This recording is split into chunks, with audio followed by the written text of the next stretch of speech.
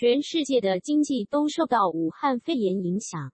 安卓阵营甚至还取消掉年度最重要的 MWC 二零二零会展，但是苹果却没有取消发表会的计划。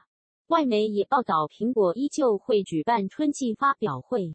苹果两千零二十春季发表会时间将落在三月底。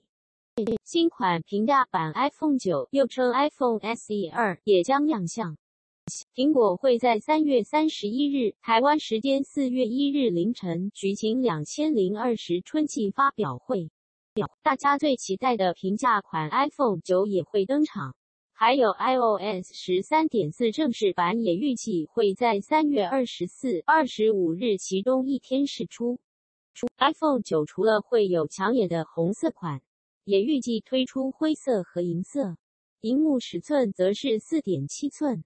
后置单镜头，并配备 Touch ID，容量分别有六十四 G 位元组和一百二十八 G 位元组的选项可以选择。预计售价为三百九十九美元，约新台币一点二万元。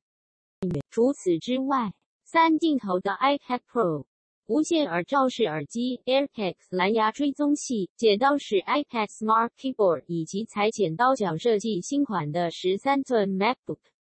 甚至 AirPower 无线充电器也大有可能会出现。正准备换手机的人可以暂时忍一下，只要再等一等，就可以看到正式版的 iPhone 九。到时候再比较也不迟啊！一直想要入手苹果手机的人也可以趁这个机会购买咯。延伸阅读来源：Apple。